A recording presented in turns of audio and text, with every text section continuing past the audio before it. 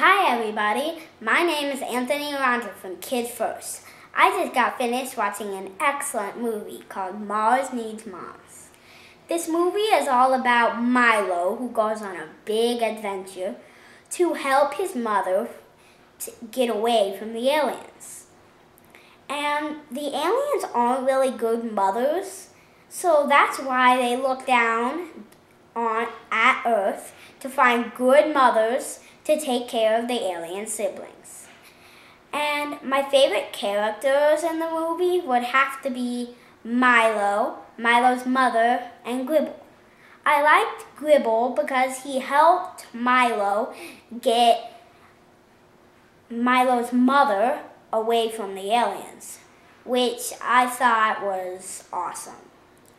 And my favorite part in the movie was when Milo had to save Gribble because the aliens in the uniforms were going to shoot Gribble.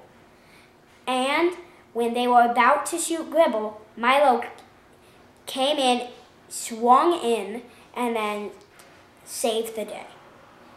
And the there are some bad people in this movie, and that is the aliens in the uniforms.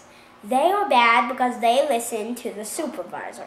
The supervisor wants everything around here. She doesn't care about anything anyone ever says. And I would recommend this movie for ages 3 and up. Because it is a good movie and it depends what age you are and how you to how you feel like see the movie.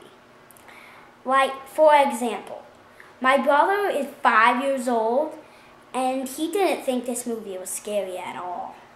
I am eight years old and I thought it was really kind of scary. And that was my example. And I think I, why I would be scared is because I would feel scared and kind of sad if I lost my own mother. But it all turns out great in the end. Go out and see this movie when it premieres on Disney DVD. Up, oh, looks like we're done. Bye.